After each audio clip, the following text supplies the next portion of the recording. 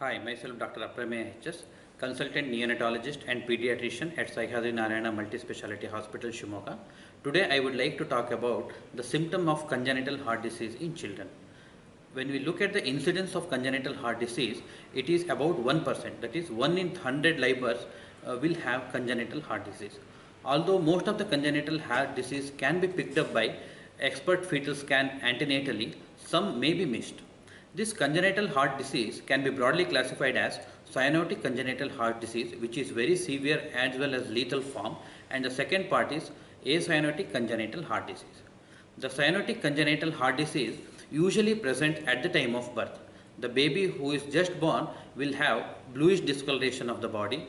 Uh, baby will have severe breathing difficulty. When we get the chest X-ray, there will be huge enlargement of the heart. That is what we call as cardiomegaly.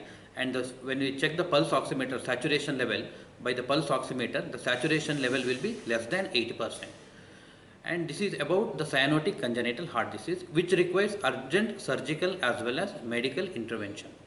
The second part is acyanotic congenital heart disease, what people commonly seen as the hole in the heart that is atrial septal defect, ventricular septal defect. Usually this hole in the heart that is ASD as well as VSD presents at about 6 to 10 weeks of life. Usually the uh, babies with acyanotic congenital heart disease will be having the poor weight gain, they will have recurrent infection in the neonatal age and they will have extra murmur when we auscultate the baby, we get to hear the extra sound in the heart. When we do the chest x-ray, there will be mild to moderate cardiomegaly as well as when we do the echo, we get to hear the, we get to see the exact defect.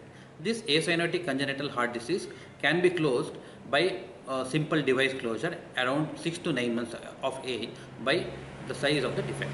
This is about the symptoms.